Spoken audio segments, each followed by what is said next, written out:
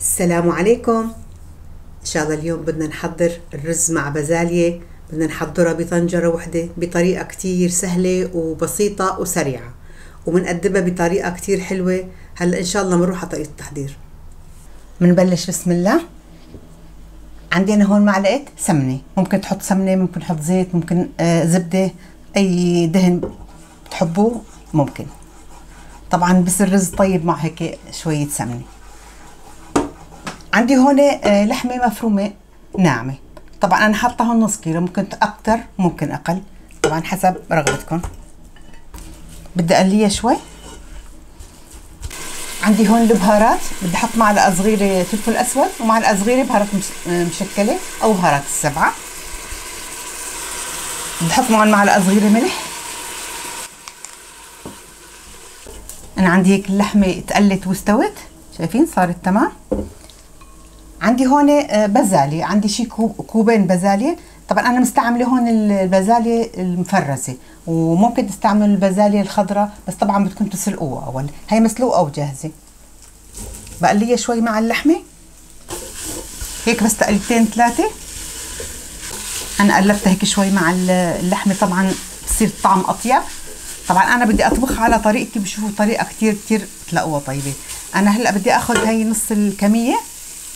أو قد ما بتحبوا طبعا ممكن تطبخوها كمان بنفس الطنجرة كمان بصير بس هيك للتقديم بتصير شكلها أحلى.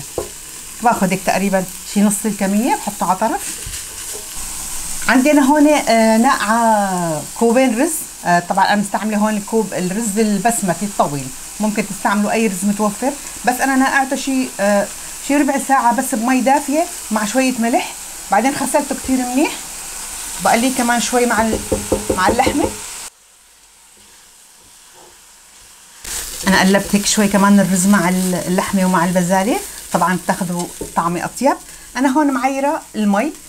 طبعا الرز البسمتي لكل كوب رز بده كوب ونص مي. أنا حاطة هون ثلاث أكواب مي. لازم هلأ نحرك وندوق ملحه. إذا بده ملح بنضيف ملح. طبعا أنا دقته بده هيك شوية ملح. حطيت له كمان معلقة صغيرة ملح. طبعا ممكن تستعملوا اللحمة القطع بس طبعا بدكم تسلقوها بالأول. بس هيك صدقوني أطيب وأسرع. وأنا بهي المرحلة كمان بحب أضيف نص معلقة صغيرة بهار. أنا عندي صار يغلي هيك الغلية القوية هلا بوطي تحته الحرارة. يعني بحطه على الواحد على اثنين حسب النار الحرارة اللي عندكم. لازم تكون النار يعني مهداية واطية. وبستناه لحتى يستوي. هلا إن شاء الله بدي أسوي سلطة اللبن بالخيار؟ هي كتير طيبة جنب الرز وبازاليا لبين ما يستوي عند الرز. أنا عندي هون تقريبا شي كوبين لبن أو زبادي. أه بدي أحط لهم معلقة صغيرة نعناع.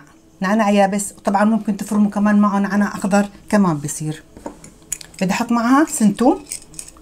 حط لها هيك شي نص معلقة صغيرة ملح. وفارم أنا هون شي أربع خيارات. وممكن تبشرون على البشارة. كمان بصير خلطهم مع بعضهم. طبعا ما في داعي واحد يحط له مي ابدا بس إذا الدنيا شو ممكن تحطوا معها قطعة ثلج طبعا بتصير كمان هيك باردة وبتصير طيبة. هلأ أنا بحطها بالبراد لبين ما يطبخ يجهز عندي. الاكل هيك صارت عندي جاهزة. أنا عندي هيك الرز استوى. طبعا أنا أخذ معي وقت ثلاث أرباع الساعة. طبعا أنتم حسب نوع الرز اللي استعملت تستعملوا شايفين ما شاء الله شلون قديش مفلفل؟ شايفين كل حبة بحبتها. شايفين ولا أحلى من هيك؟ حتى شوفوا البزاليه ضلت هيك لونها خضراء. يعني ما صارت صفرة كتير. طبعا بهي المرحلة ممكن تحطوا معلقة زبدة. أو في ناس بيحموا سمنه بيحطوا لها. طبعا هي خياركم بس أنا جد ما بحب الأكل الدسم ابدا. أنا هيك بكتفي ابدا. شايفين ولا أحلى من هيك. هلا بطفي عليه الحرارة؟ بغطيه بخليه شوي لازم نخليه هيك شوي يتهدى بعدين نسكبه بالصحن. هلا إن شاء الله بدنا نسكب بالصحن. شايفين الرز ما شاء الله. شايفين قديش مفلفل؟ هلا هذا اللي خليناه على طرف هيك بنسوي له مسافه مشان نعبي الرز. أنا عبيت هون كمان صينية وبدي اقلب الصينيه صينية تبعت تقديم.